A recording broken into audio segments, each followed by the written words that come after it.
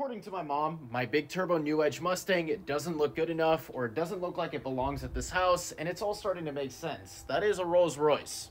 Now you guys know that I wanted to bring home the new edge Mustang, you know, this week, but my mom coordinated some sort of house party for my stepdad's 52nd birthday. I think that's how old he is. I'm not entirely sure.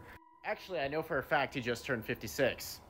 Anyways, as you all know, I was trying to bring the car home this week, but I guess it conflicted with her little house party thing that's going on.